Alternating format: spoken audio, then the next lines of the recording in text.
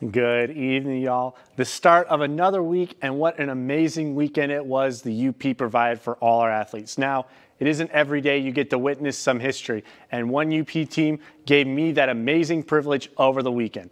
It did not come easy, but the Westwood Patriots fought and clawed their way to their first district title in program history after a regular season that saw them go 8 and 1, averaging 38 points on offense and keeping opponents to under 8 points per game against the Charlevoix Raiders, the Patriots finally climbed the mountain. A game that saw very little offense in the first two quarters. Tied 8 8, they came out firing in the second half led by their star running back and Westpac Offensive Player of the Year, Zach Carlson.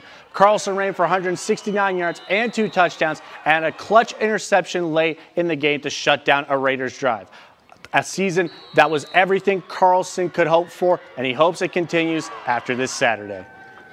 Zach, the first district title in Westwood school history. How does that feel? Uh, it feels awesome. I mean, this was our goal all year, so it feels good to, for it to pay off. It was tied 8-8 at halftime. So what was that halftime speech like in the locker room before coming back out here?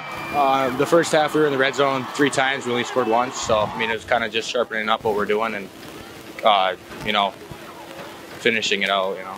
You got Traverse City St. Francis up next heading downstate. Uh, how are y'all going to prepare for that one? Uh, it's going to be a battle for sure. They're a great team. So we'll have to get into the practice this week and really do what we do and try to find a way to beat them.